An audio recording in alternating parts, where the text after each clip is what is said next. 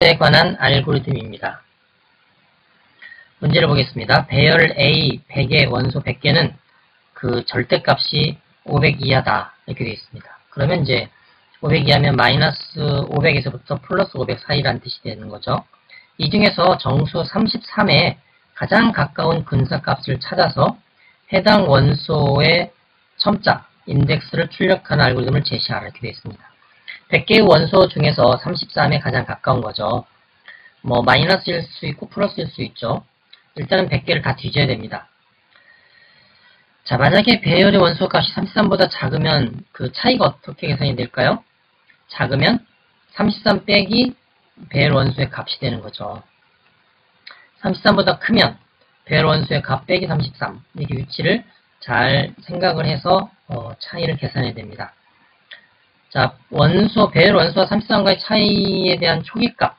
제가 뭐, 지금 보면은 가장 근사한 값이라고 그랬기 때문에 그 차이 값이 가장 작은 값이라고 볼 수 있는 거죠. 가장 작은 차이. 그거를 이제 A0, A0는 존재하지 않는 원소죠. 네, 만약에 A0가 가장 어, 작은 차이를 가진 초기값이라고 부를 경우에 최의 경우 얘는 어떻게 나오나요? 음, 마이너스 500? 뭐 이렇게 되겠죠. 마이너스 500. 어, 절대값이 500 이하라고 그랬으니까 A0가 마이너스 500 정도 된다고 하면 왜 플러스 500을 안 할까요? 플러스 500 하면 33이 플러스 쪽이니까 차이가 어, 좀 작아지죠. 마이너스로 하면 커지죠. 왜냐면 차이가 533 이렇게 되니까. 그래서 A0와 33과의 차이는 최대 533이 나올 수 있습니다. 그래서 533을 어, 기본값으로 잡는 거죠. 어, 초기값으로. 그리고 이 경우에는 음, 요런 그 취소의 차이를 가족 가장 근사한 차이를 일으킨 어, 배열 변수 배열을 이제 인덱스를 0으로 잡는 거죠. 그리고 나서 이제 1부터 100까지 진행합니다. 그래서 현재의 원수와 33과의 차이를 구한 다음에 그 차이가 앞에 설정했던 취소의 차이 값보다 더 작으면 갱신하죠. 값도 갱신하고 또 원수의 첨자도 갱신하면 됩니다. 자, 순수도에 사용하는 변수를 볼까요? A100. 얘는 절대값 500 이하의 정수 100개로 구성이 되어 있고요. 차가 있고 민 차가 있는데 차는 요 100개 원소 가까이에 대해서 33과의 차이를 구해주는 그때그때 임시 변수고요. 민차는 이 100개 원소 모두를 다 차이를 검사했더니 가장 작은 차이 값을 가지고 있는 따라서 가장 근사한 값을 가지는 경우의 차이를 나타냅니다. N스는 답인데 민차를 갱신할 당시에 a 변수, a 배열 변수의 원소 첨자를 의미합니다. 답이 되겠죠. 흐름도를 보겠습니다. 자, 처음에 보시면 스타트한 다음에 a100 자, 배열 변수 a에 관한 선언을 했고요. 자, 보면 민차 차인데 가장 작은 거를 초기값을 줬는데 이 초기값은 어떻게 보면 가장 큰 값이죠. 그래야 이제 그 다음 숫자부터 갱신이 되니까 그래서 마이너스 500인 경우로 봐서 533 따라서 어, 그 여기 보시면 n은 0 n, n이 여기 보면 n은 n 플러스 1 1부터 이제 검 이제 점검이 들어가기 때문에 초기값을 0으로 줬습니다. 그래야 1부터 시작하죠. 0. 그 다음에 n 써도 0이죠. 이게 533을 A0로 저희가 가정했기 때문에 0인데 n에 0을 줬기 때문에 그냥 n 이렇게 넣습니다. 요거는 n은 0, n스는 n 이렇게 되고요. n, n equal, n스 equal 0 이렇게 넣어도 됩니다. 자, 이 안에 들어오면 1부터 100까지 진행이 되죠. 자, 1부터 100까지 진행되는 걸 어떻게 할 수가 있나요? 큰 흐름도를 보시면 됩니다.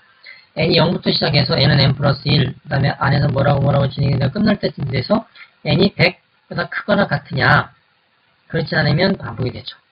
어, 100까지 진행이 됐으면 추로가 돼서 그 n서 값을 찍어주면 가장 근사한 값의 배열 첨자가 찍히게 됩니다. 따라서 이 안에서는 이제 그 근사 값을 계산하는 거죠. 차이를 가지고 자 an이 지금 점검하려고 하는 숫자가 33보다 크거나 같으냐 크거나 같으면 차이를 어떻게 구한다고 했나요? 그 숫자에서 33을 빼고요. 만약에 33보다 작으면 33에서 그 숫자를 빼내면 됩니다. 자, 이렇게 해서 차이를 구했는데 이 차이가 지금까지 구했던 차이보다 더 작으면 새로운 근사값이 되는 거죠. 만약에 그렇지 않으면 false가 돼서 그냥 통과하고요. 어, 새로운 근사값이 되기 때문에 민 차는 현재의 차이값을 넣게 되고요. answer는 현재의 n값을 넣게 됩니다. 자 이렇게 해서 매번 차이를 구한 다음에 가장 적은 민차보다 더 적으면 값들과 배열 변수 값을 갱신해주고 요게 이제 100개까지 다 끝나면 요 엔서 값을 출력해주면 그 정답인 첨자가 출력이 됩니다. 자, 디버깅 표를 볼까요? 그 N100이라고 그랬는데 10개로 줄여서 한번 해봤습니다.